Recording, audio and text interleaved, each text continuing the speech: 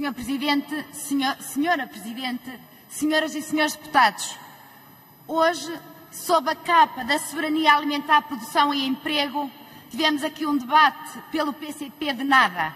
No entanto, recentrando este debate à alimentação e à soberania, começaria com uma citação de Charles Godfrey, a propósito dos desafios na agricultura e na alimentação para as próximas décadas, que refere: se falharmos na alimentação, falharemos em tudo o resto, na pobreza, na biodiversidade, nas alterações climáticas e comprometeremos a nossa evolução enquanto espécie. Até hoje não falhamos e com mais ou menos desequilíbrios conseguimos fornecer alimentos de qualidade à população portuguesa e europeia. No entanto, esta abundância não deve ser encarada como garantia, porque não o é. Aliás, um dos muitos ensinamentos que podemos retirar desta pandemia é precisamente a fragilidade dos sistemas e a nossa dependência excessiva de outras partes do globo extra-União Europeia. E isso é importante ser fixado.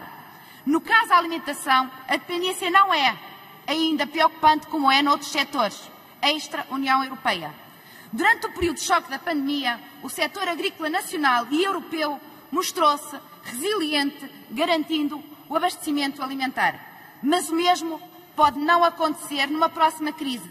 Basta a política pública seguir as derivas que alguns mas correntes, dentro e fora de Portugal, e deixar de encarar a produção agrícola como estratégica. Os discursos politicamente corretos sobre o Green Deal, a neutralidade carbónica ou Farm to Fork, de per si, parecem ter cegado o que devia ser óbvio para uns e assim descentrou-se o debate sobre produção agrícola e sobre a necessidade de reforçar a balança agroalimentar na Europa. Para que a produção alimentar continue a não falhar, é necessário reequilibrar o papel da política agrícola comum na produção de alimentos. Alimentos esses imprescindíveis à sobrevivência do homem enquanto espécie.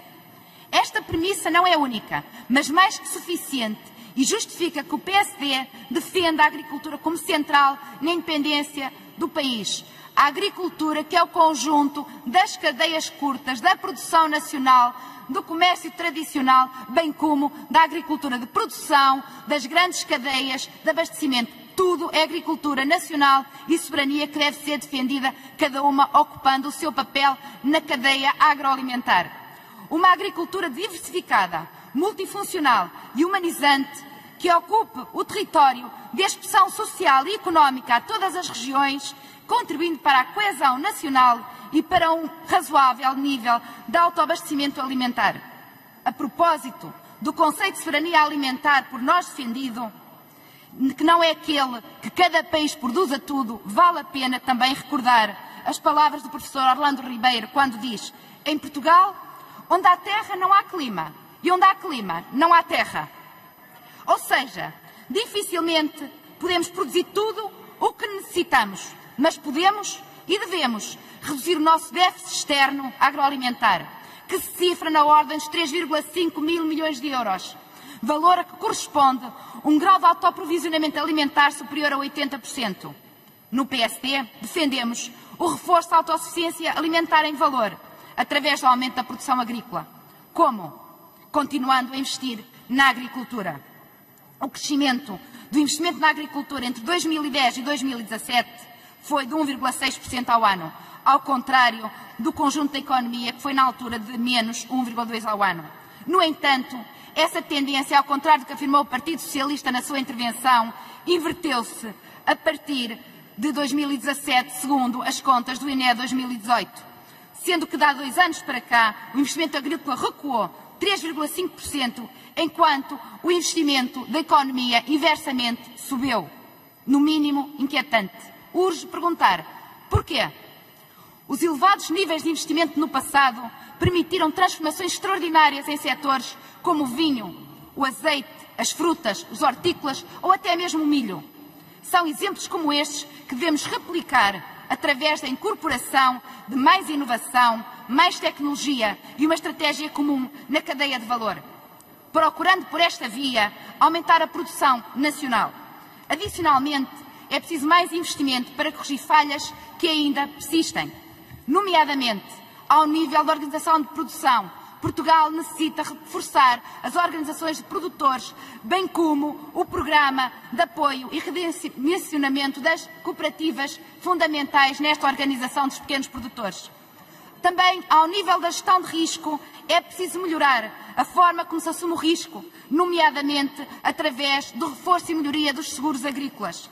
Ao nível da energia, Portugal é o Estado-membro com a eletricidade mais cara da Europa, o que prejudica fortemente os sistemas de rega e a conservação dos produtos. A este propósito, vale a pena lembrar um fator essencial para a produção: a água. No caso português, sem água, não podemos ambicionar aumentos de produtividade, produções capazes para alimentar a nossa população.